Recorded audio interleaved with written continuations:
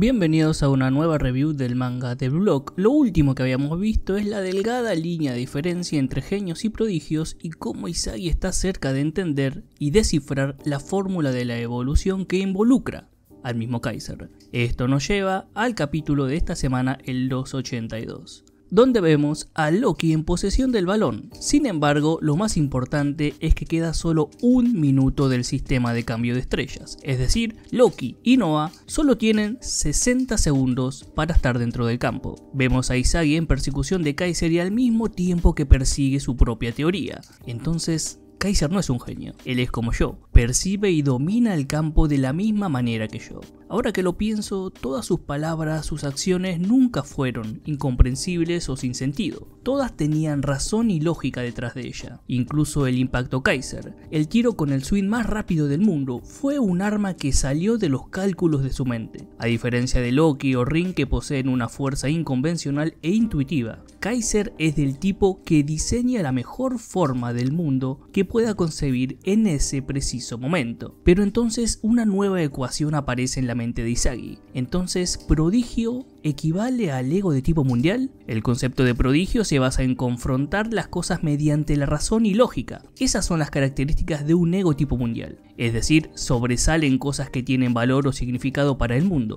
Si este es su mismo significado, puede ser que genio sea el equivalente al tipo de ego propio. Bien, debo analizar esto pensarlo más detenidamente. Si los genios persiguen todo aquello que tiene valor para sí mismo y crean destellos de visión e invenciones poco convencionales, Definitivamente, estoy seguro, genio es lo mismo que el tipo de ego propio. Maldita sea, esto es. Este es el análisis apropiado que necesito. El mundo no gira solo alrededor de los genios. Los genios pueden ser encontrados gracias a los prodigios, gracias a que ellos están ahí. Se admiran unos a otros, se confrontan unos a otros. Como estaba peleando con este ego es que me he dado cuenta. Genios y prodigios no son una jerarquía. No hay uno por sobre otro, sino que se estimulan unos a otros de manera relativa. Mientras tanto en el campo Loki tiene el balón. Frente a él, Raichi y Hiyori quieren armar la defensa. Raichi opta por la ventaja numérica en defensa. Hiyori les dice que se preparen ya que Loki va hacia ellos. Noah se pone a la par de Loki para intentar detenerlo. Luego de todo su análisis, Isagi dice que su cabeza ahora está despejada. Puedo hacerlo, se dice a sí mismo. Mientras la batalla entre Noah y Loki continúa, Loki intenta dejarlo atrás y Sagi prosigue. Hasta ahora he estado intentando competir con estos genios en su propio campo de batalla, pero soy un prodigio. Para mostrar mi talento, yo poseo otro camino, una manera completamente diferente. Genios y prodigios, ego de clase mundial y ego propio murmura. Mientras tanto ve a Kaiser intentando también. Entonces piensa, Kaiser comenzó a influir en este partido en el momento en que dejó de lado su obsesión conmigo.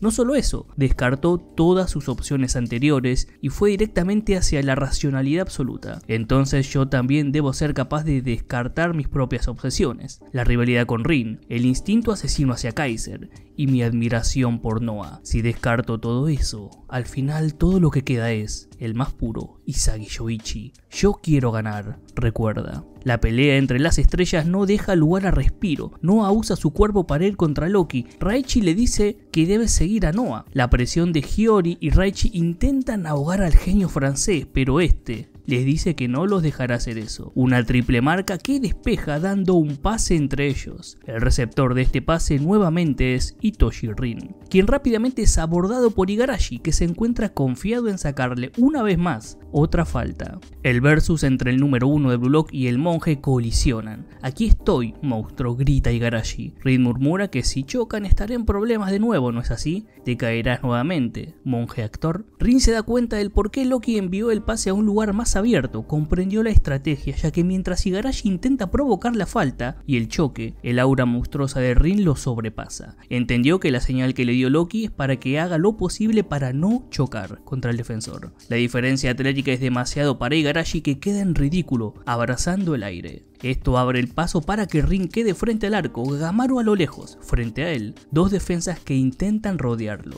Rin los ataca, pidiéndole que vayan contra él. Los aparta cada uno con una mano, se abre paso entre ellos, la lengua por fuera y un deseo prevalece en Rin. Vengan más a mí, al punto donde el monstruo se rompe y quiero escribirlo en todo mi cuerpo. Frente a Rin y su monstruo, detrás de los dos defensas que están como espectadores, Isagi emerge para ir a su encuentro una vez más. Eso no será suficiente, maldito fenómeno, le dice Isagi. Rin, tú eres el monstruo de los genios, entonces yo me volveré el monstruo de los prodigios. Sí, dice Rin, hagámoslo de nuevo, Isagi. Sí, Ven, Rin, ven a pelear contra una nueva versión de mí. Los dos chocan de nuevo. Estate preparado para el shock desconocido que aguarda más allá del egoísmo. Continuará en el siguiente capítulo llamado Defensa Destructiva a toda costa. Sobre este capítulo y la definición entre genios y prodigios hay algunas traducciones que toman el concepto de prodigio como aprendices talentosos. Si bien me parece más adecuado a lo que es Isagi, pero como ya dije que son prodigios en el capítulo anterior y en este lo repetí hasta el hartazgo, bueno, voy a dejarlo así. Pueden tomar la traducción que más les guste. Sobre el análisis del capítulo de hoy, hay algo de Blue Lock sobre volver a lo más primitivo del ego propio. Kaiser descartó todo lo que había conseguido para reconvertirse y ser una amenaza total. Isagi en este caso trata de ir por ese mismo pensamiento. Si Kaiser, que es igual que yo, que logró todo eso a través de lo racional y el aprendizaje pudo hacerlo, entonces yo también debo hacerlo. La idea del impacto Kaiser es realizable, es calculable y es posible en comparación a Loki moviéndose a la velocidad de luz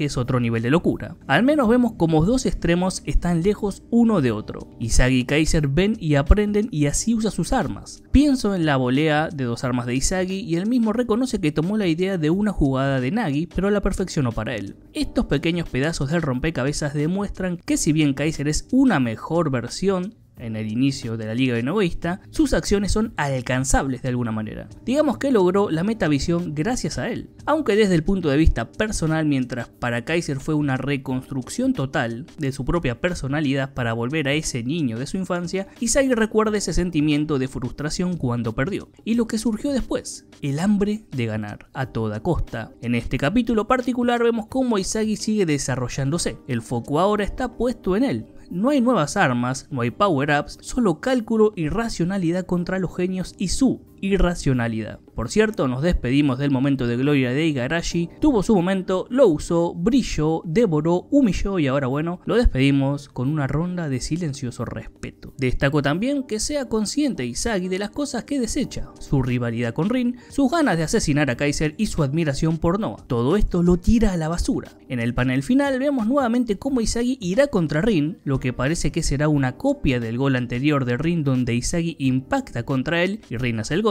colisionando, es decir, lo saca a pasear. Yo creo que acá tenemos otro tipo de defensa. Tengo dos teorías, una más factible que la otra. La primera es, la detiene con ayuda de Kaiser, logran jugar en equipo, dos prodigios que se necesitan uno a otro para llegar al nivel de los genios, y lo vemos combinando con su metavisión en el campo. Sabe dónde estarán, cómo dar pases, una suerte de Kaiser Ones o Isagi Kurona, pero, pero entre estos dos monstruos. Y a partir de ahí logran la victoria. La segunda, la más improbable, pero la que más me gustaría que pase porque rompe con la lógica del bloque es, ¿qué tal si Isagi hace que expulsen a Rin? Que Rin quede tan cebado como siempre con ganas de morir, que impacte fuerte contra Isagi, obviamente Isagi dejará que esto pase, y que sea este el sacrificio que está dispuesto a hacer para ganar. Con Rin fuera, con los maestros fuera, porque ya queda menos de unos 50 segundos, en este nivel de la liga egoísta, 11 contra 10, ya no hay nada más que decretar, ganaría Bastard. Pero vamos un paso más allá. ¿Qué tal si la jugada es tan violenta que Isaki queda lesionado y no puede terminar el partido? Se sacrifica aún más para esta victoria. Por cierto, en cosas que nadie recuerda, hace unos días, el 31 de octubre, fue el cumpleaños de Leonardo Luna, el que humilló a Rin, y algunas teorías de fans dicen que fue el culpable del cambio de actitud de Itoshi Sai. De esto no he visto pruebas, pero le deseamos un feliz cumpleaños de todas maneras. Volviendo a lo de Isagi, para mí sería un buen final para esta liga no egoísta, de nuevo. Quiero saber sus propias teorías y qué pasará. ¿Qué debemos esperar de los capítulos finales de este partido? Espero les haya gustado y muchas gracias por mirar.